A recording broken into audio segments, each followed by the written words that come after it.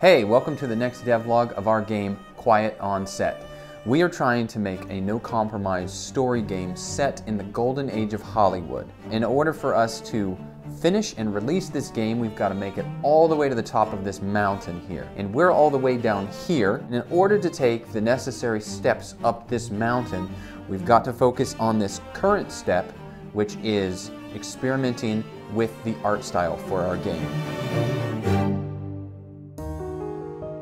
We kind of have like two goals with this art style that we've been thinking about. The first goal is it needs to be unique. And then the other goal is to make it easy to do because the game we're making is a very large world. There's going to be thousands of objects. And one of the things that we're kind of pulling from our experience from our previous game is the amount of time we spent creating assets was huge. I'd say more than half of the time spent creating like this pot would be texturing. So we'd have to create the actual albedo texture, we'd have to create the normal map, we'd have to create the metallic map, we'd have to unwrap the object and make sure that the UVs were correct and everything. So that just took up an enormous amount of time. So the idea with this art style and how to pull it off is we want to be able to take models that the Dano creates and we want a simple way of applying this painterly brushstroke art style to these models like quickly with very little intervention from us. So what we did is um, Daniel sat down and made a kind of a 3D concept piece of the camera where it kind of shows what his vision would be for the object. So he hand painted it in Blender. It's like, okay, hey, this is what we kind of want the final result of the auto-generated object to look like. And we use this as a reference when we were developing the tools in Houdini and the shaders in Unreal. So the way that we're kind of talking about it here in brainstorming is we want to be able to use the vertex colors on the object to then feed into a shader that blends between different pre-made brush strokes. So, so Daniel will go into Photoshop, he'll create a series of different types of brush strokes, you know, like a vertical one, maybe like a swirly one, like a messy one, um, just a whole bunch of different variations of brush strokes. And then in the shader that we have in Unreal, we will use the vertex colors from the object and we'll use those as basically cues to interpolate or blend between these different types of brush strokes. It's the same principle as what all video games do with Yeah. vertex painting the ground. You want it to fade from a gravel road to a grassy area. It's a very common thing in video games to take advantage of the RGB channels to blend different textures together. We're taking that traditional approach and we're automating it. Through Houdini, uh, we're finding the concave shapes of the object and we're finding the convex shapes, so like valleys and crevices of objects and peaks of objects, and we're applying a color to those.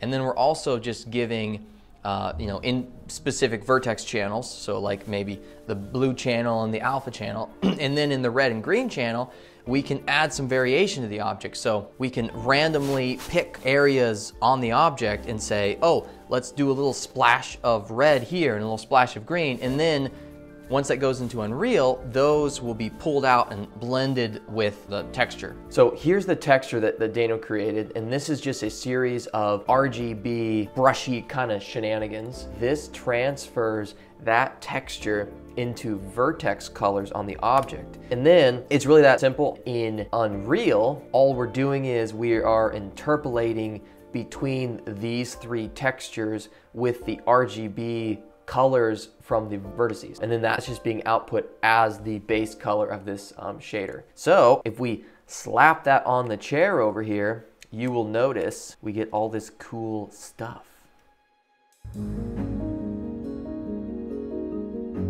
So then, what I'm thinking is, this is a red vertex. Yeah.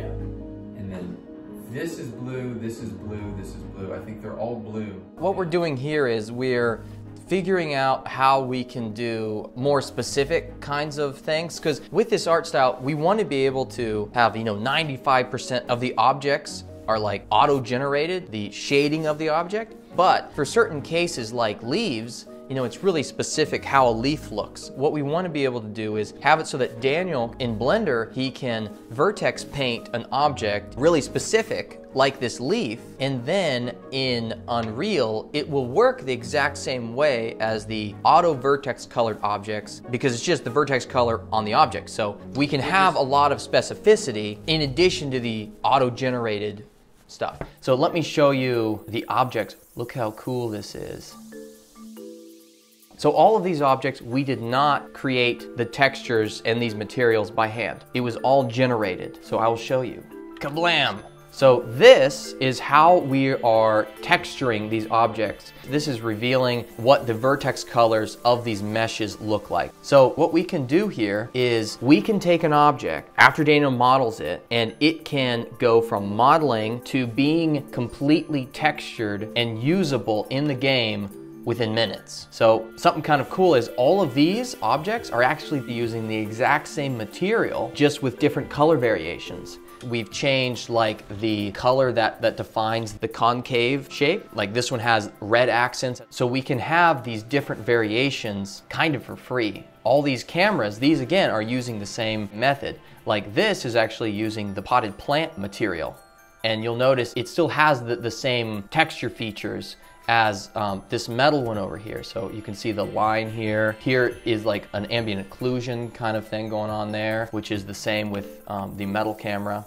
So one of the reasons why we can do this is because of Unreal and Nanite. Because in order to have this level of detail with vertex colors, you have to have vertices and a lot of vertices. So traditionally this would be a lot of polygons for a light post that you could define easily with just eight sides and you would just define it with a texture and a normal map. But that goes into what we were saying earlier where that's just a lot of work. So with Nanite, because it is able to reduce the polygon count of an object for free and do it so well and so seamlessly, we can have these high poly objects. And here is just something kind of silly. I wanted to see really, really big high poly models in Unreal just to kind of see what it would do. And it worked fine. These are like 2 million poly quads of just like bricks and there's like four of them. Nanite and Unreal have no problem with it whatsoever. I was able to zoom around and you couldn't even really tell that uh, there were that many polys, which is kind of crazy.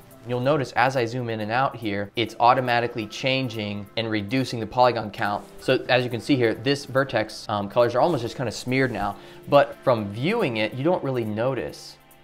As I'm zooming out there, you can't really tell. So that's one of the benefits of using Unreal and using Nanite. You can have these relatively high poly objects with um, the vertex colors, and that, that's what allows us to do this. So we're really excited about this because uh, we feel like we've created a very helpful tool for us to just bust out a bunch of really good looking art. We're trying to take advantage of the tech that Unreal provides and make it look like this game was made by 50 people. Um, and with these types of techniques and pipelines, hopefully we can do that. And we're just really happy with this art style. It just looks really cool to us and hopefully we can make the entire game meet this level of quality. So if you watched our previous episode, you know that we're currently working on making a vertical slice for the game. And in order for us to do that, we wanted to make sure that we had the art style locked down. Mm-hmm. Now that we've proven that the art style works, we want to get one of the areas that we're using in the vertical slice and completely kit it out with the art using this new workflow. So we're really excited. Next episode, you guys are gonna see something freaking amazing. Hopefully. yeah. Thanks for watching. Subscribe and like and share with your grandmother. She'll love it.